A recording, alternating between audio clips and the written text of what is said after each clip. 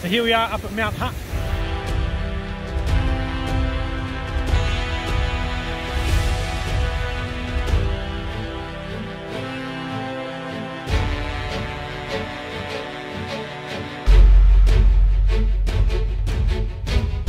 Yeah! Oh!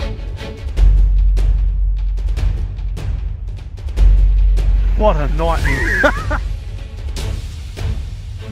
One of the classic snowmakers that they have. There's many of them on the field across across the whole area. So a couple of great features on this snowmaker here, the T40, which is one of dozens across the hill.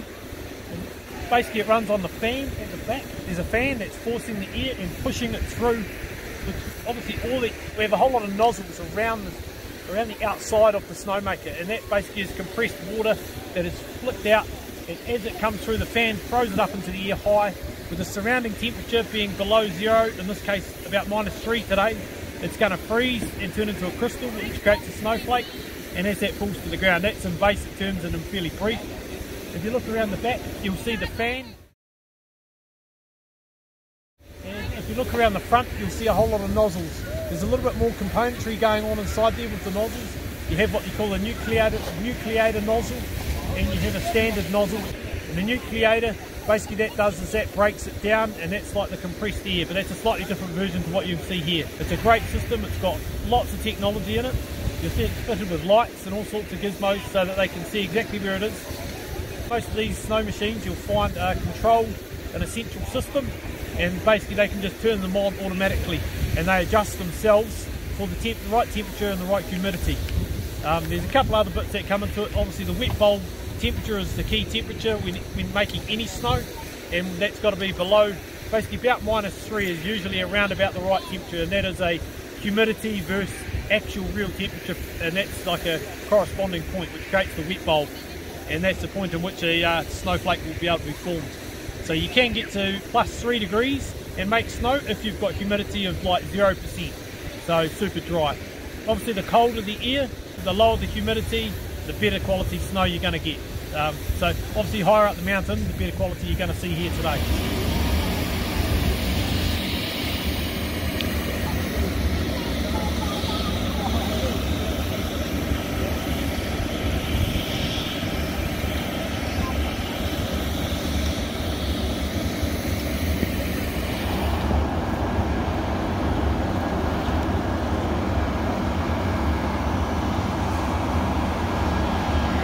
Classic polecat. It's a snow machine that's been around for a long time, decades now.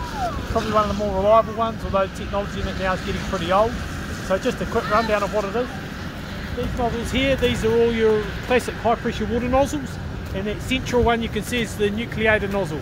And basically that one, the central one is the compressed air water mix, whereas these ones are just straight water. You go down to the bottom here, you've got your compressor, all right, which is all, all connected up. And then obviously at the back, it's also got a fan to give it elevation when it throws the snow out.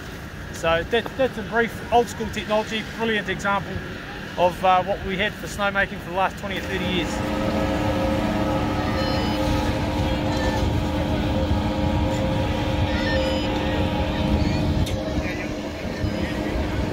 Here we are guys, classic four quad chair lift. Most arduous task of any lifter is clearing that snow around the bottom by shovel. There's no other way of doing it. Basically shoots you up to the top in about six, seven minutes. Okay guys, this is what we call the magic carpet on the learner slopes here at Mount Hutt. It's a whole series of containers that have been put in there just to protect it from snowfall and things like that overnight building up, making it hard to clear. So they put, put a whole lot of containers here. It works great. Brilliant system for learners and beginners. Rightio guys, thanks for coming along with us today at Mount Hutt. Brilliant day, great ski field. It's open here, second day, absolutely fantastic, lots of crowds, awesome to see.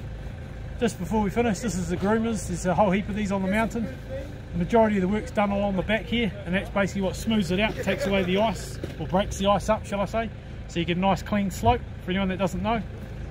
At the front, you've got your um, big, basically like a bulldozer bar, that's just moving snow around, making trails and things like that. Just like to say a shout out to Fully Equipped for setting up Josh's truck. Absolutely fantastic job they've done. It looks great, brilliant for up here today.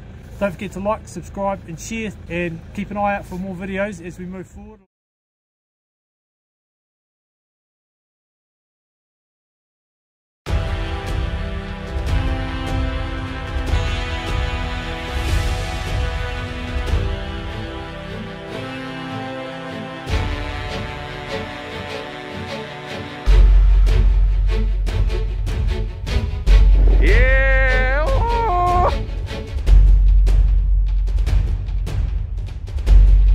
What a nightmare.